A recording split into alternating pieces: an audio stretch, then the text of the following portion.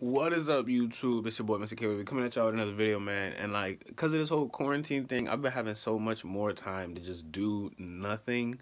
So I decided, why not make all this nothing into something? And I've been ordering a whole bunch of um lights, you know, because like, you know, I drive a lot at night because like bro, who doesn't drive at night? You know, like you gotta go home if you work like late or whatever, whatever the case may be. I, I, drive at night a lot, and like I really like it when I get out my car and I look at my car like, damn, that car look good. So I've been doing a whole bunch of light upgrading. So I went and I bought myself some some brighter LED lights for the for the BMW. So that's today's project. We about to be going and we're gonna be installing some LED bulbs. I think I got in my pocket. Yeah, this is what they look like. I hope that this is the right one because in videos that I've watched, everybody got a ball back here. I ain't got no ball back here. So we finna see how this go. But like, comment, subscribe on the vid. I'm gonna do like a little how-to on how to do it because I really didn't see no video on like no 335. And if there is a video on the 335, I guess I didn't look good enough. But like I said, we finna get right into the video, man. Like, comment, subscribe on the vid. Thanks for watching. And it's your boy, Mr. K Wavy, man. Let's get into the video. Yeah. So just to show you guys how the bulb look now, this is the bulb. I'm gonna show you guys how to take it out on this side. I just wanted to take it out by myself to make sure I wasn't gonna make myself look dumb. But this is how the bulb look right now. And as you guys can see, the other bulb don't even work. So what we're gonna be doing is we're gonna be swapping out these for these, right? And that's what we're gonna do. So let's get to it. Boom, boom, boom, and there we have it. So in with the new and the older still here.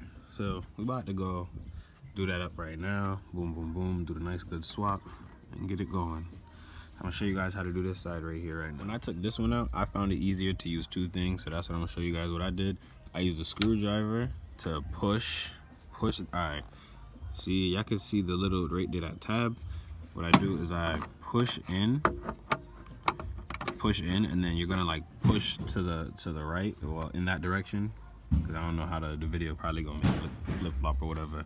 But um push in and you pull it push it that way. And then while I'm pushing that way I take the knife and I use it to kind of help pry up the side and then it'll come out pretty easily. So that's what I'm gonna try and show you guys now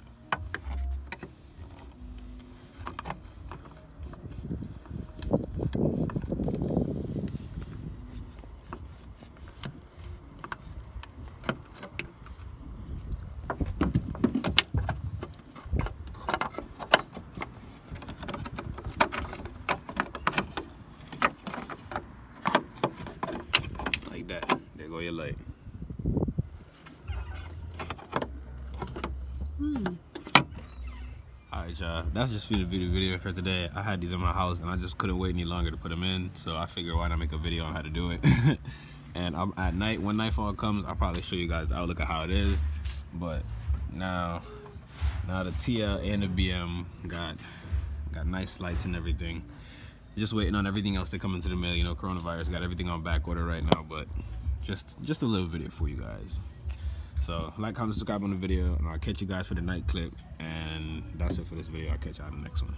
What is up y'all? It is nighttime now and right before i enter this clip if i have any photos or like um, pictures videos or pictures of what it looked like before i'll throw that in right now so you guys can have a nice before and after.